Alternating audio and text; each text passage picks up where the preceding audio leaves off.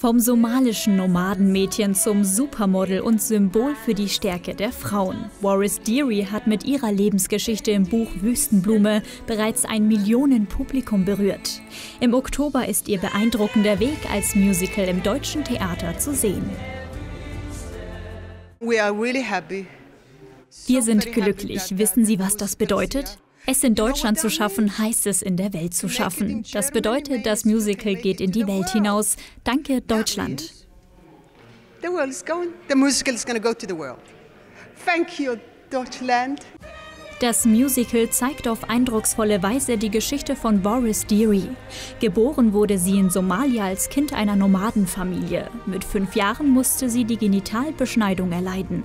Mit 13 ist sie vor der Zwangsheirat geflohen. Später wurde sie dann in London als Model entdeckt. Ich wollte das Stück unbedingt ähm, als ein Paradebeispiel für neues Musiktheater mit zeitgenössischen Inhalten bei uns unbedingt zeigen. Also die Beschneidung ähm, ist sicher kein, The kein Thema, wo man denkt, da kann man ein tolles Musiktheater draus machen. Aber es ist gelungen und ähm, das Stück hat eine wahnsinnig tolle Ausstrahlung und eine unglaublich positive Aussage. Die Hauptrolle im Stück spielt Schauspielerin Carrie Jean und das schon seit der Uraufführung 2020 in St. Gallen. Für die Amerikanerin etwas ganz Besonderes. Wie sich dieses Charakter sich entwickelt, das ist, es ist wirklich eine Reise. Es, sie, sie erlebt viel in dem Stück und das macht viel Spaß für als Schauspielerin.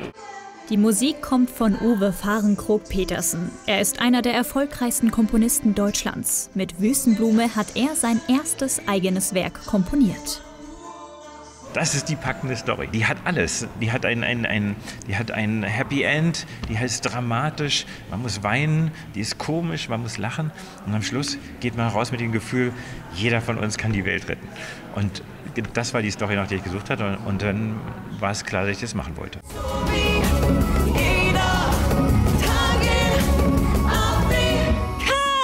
Wüstenblume vom 4. bis zum 15. Oktober im Deutschen Theater.